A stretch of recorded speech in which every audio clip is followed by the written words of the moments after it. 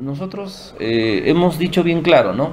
Nosotros no podemos permitir este tipo de actos. ¿no? Eh, es, es claro para nosotros que lejos de, de, de aumentar la seguridad, disminuye la, la, la, la, misma, ¿no? Hay inseguridad.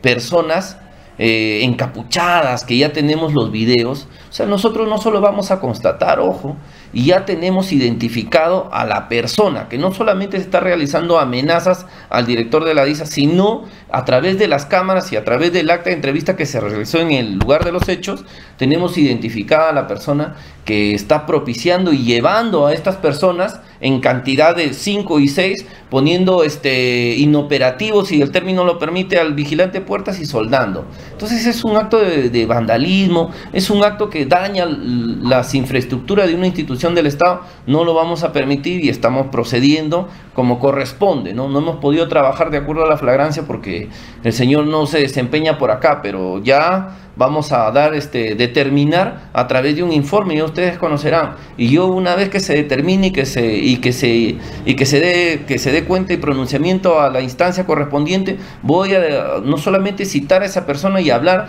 que por qué está realizando esas actividades que nos que nos dañan nos, nuestra imagen nuestra tranquilidad. Esto no es así. El derecho a, la protesta es un derecho constitucional amplio para cualquiera. Pero no puede ser que dañemos la, la, o sea, daños materiales, lesiones y más. Eso no está bien. ¿Quién sería la persona? Si eh, justamente como estamos nosotros en estas diligencias, este, yo todavía eh, no voy a este, pronunciarme al respecto, pero sí ya tenemos este, identificado plenamente a esa persona. ¿Sería integrante de una organización por del PUDIP o de la Ronda?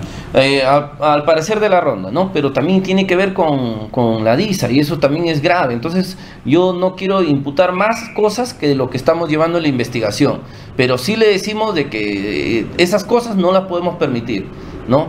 Las organizaciones tienen sus estatutos, ¿no? Tienen, tienen, lo, tienen su, su articulado en la Constitución, lo, lo, nosotros lo vamos a respaldar, incluso vamos a coordinar, pero nin, ningún acto de este tipo vamos a permitir, porque eso merma no solamente la seguridad ciudadana, sino las instituciones, son instituciones del Estado.